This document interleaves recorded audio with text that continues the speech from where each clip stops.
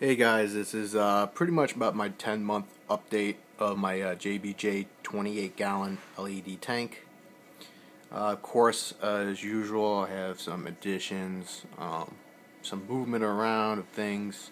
Uh, just uh, you can see here, my uh, Orchid Dottyback sometimes chases the uh, little guy here, and sometimes changes this new guy, which is the two spot hogfish or candy stripe hogfish.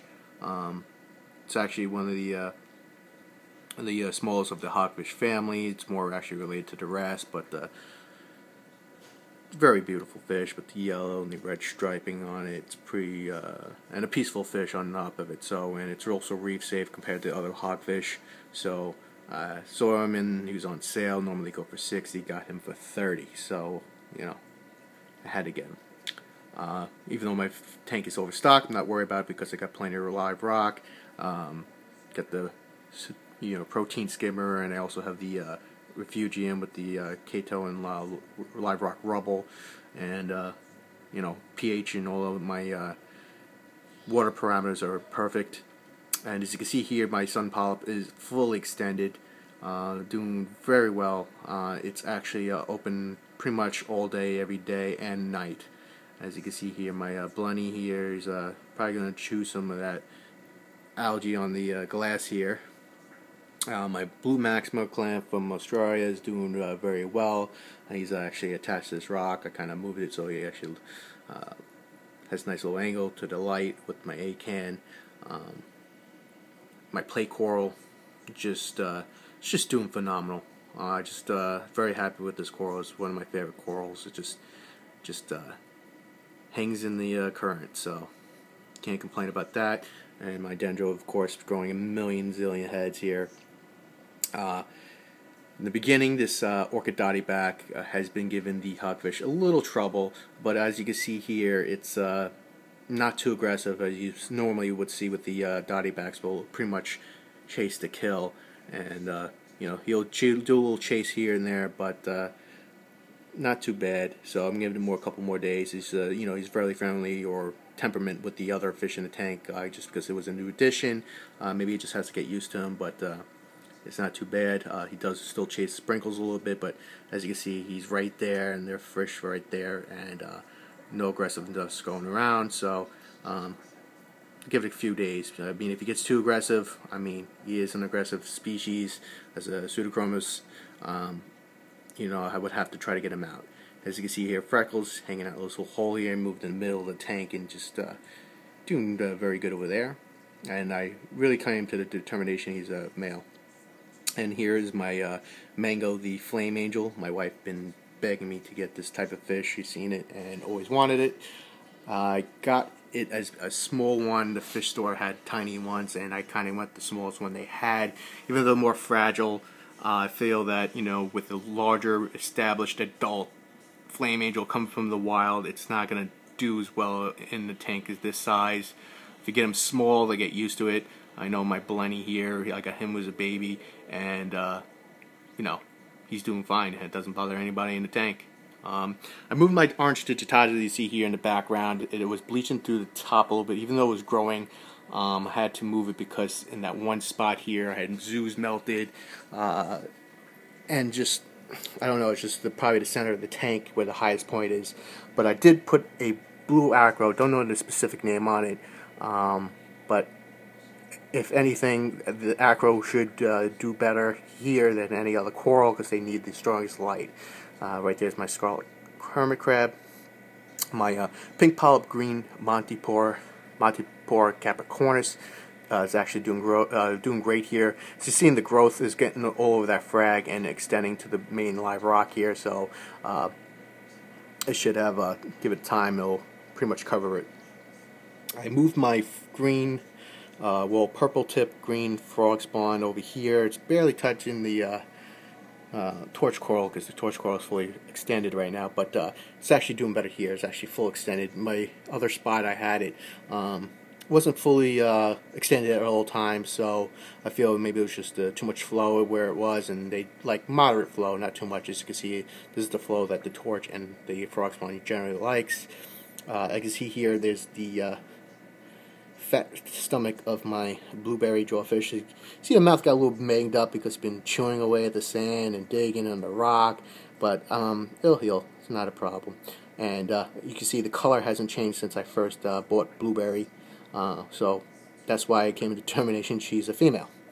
Um, I could always be wrong, but uh, until I see uh, otherwise, um, I'm sticking to my guns on this one, especially when I have two in the vicinity of the tank and they're not killing each other, and which a lot of people are saying two of these small ones will kill each other unless they're in a tank like 100 gallons, and that's not even guaranteeing that they'll be all right with each other. So, uh, roll the dice, and uh, you know, in this uh, hobby, you have to because uh, you know there's not a lot of information on a lot of these fish here. I mean, there's some with clownfish or something like that, but this specific fish, very little uh, that is uh, written out there.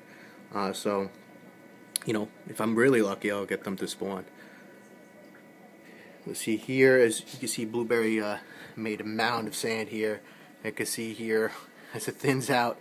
Um, and uh, so you can see here, my uh, cat's eye snail has kicked a bucket, and uh, white reef crab has took over the shell. So get a nice little orange shell. Um,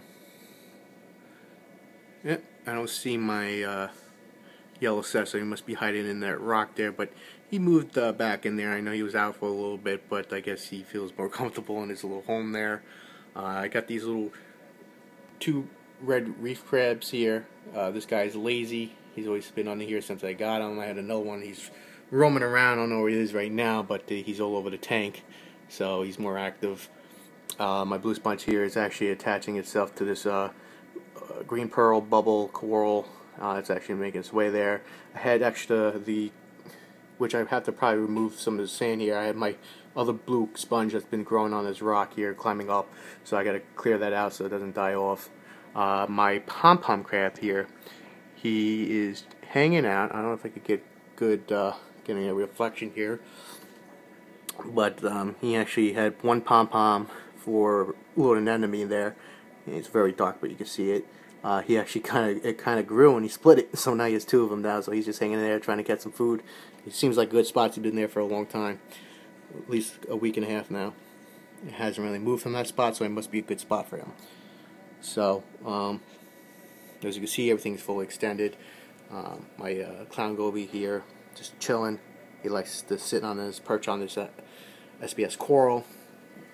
And this is generally an overstocked tank, uh, but you know, I have different fish and different uh, types of style of fish. Uh, you know, you got your ground guys, which is your my green mandarin fish, and the uh, two spot goby here, here, and then you got the uh, shrimp gobies. The two of them are in there. The yasha gobies are really just hang in the hole all day, so they don't really take much of a swimming room. Uh, the dotty back and the flame angel and the hogfish are the only ones really like pretty much swimming around the whole tank. Uh, and even though my jawfish will go up and down, up and down, move around, they generally stay in there one spot. So, and they don't really get bothered or bother anybody. Uh, you can see here the flame angels uh, having fun going inside or outside a rock. And then you got my um, my uh, blenny that's just a percher. The neon goby kind of hangs underneath a rock. He doesn't do much.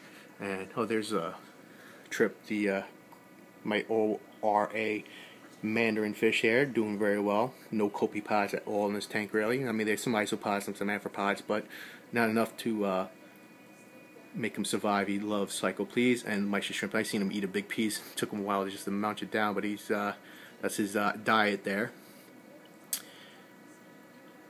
And uh, my red planet acro here, as you see the full, uh, get a good angle, but the full polyp extension on there. So all in all, tank's doing very well. Uh, think I'm pretty much not ever going to get another fish in this tank, and uh, but definitely colorful. Um, fish are getting along. I'm not worried about it. Um, until I see some aggression or some stress in from the fish, I'll just uh, get the aggressor out. Um, and he's probably the main culprit, if anything, because the, the nature of that species. But he's been behaving. I mean, I got he's an ORA tank raised orchid dottyback, which the orchid's supposed to be the, the least aggressive of all uh, dottybacks. But you can see here, uh, he doesn't give the hogfish too much trouble, so I think that's just uh, welcome to the fish tank. so I'll keep you guys updated and uh, you know post your comments or uh, if you have any questions of my experience, uh, as you can see here, my uh, tank's been thriving since day one and just been getting better and better even though with the amount of fish and coral I have in this tank and there's uh, Freckles digging his hole right next to my uh, right underneath. It's my uh, Halloween hermit crab. You can't see his legs but that's his shell right there. Okay? So guys keep you updated and uh, I'll let you know how my SPS coral uh, ends up. A little bleaching but hopefully it will cover. As you can see it's not uh, the best of health that one particular uh, digitata but my other SPS are doing fine. So it's just placement in this tank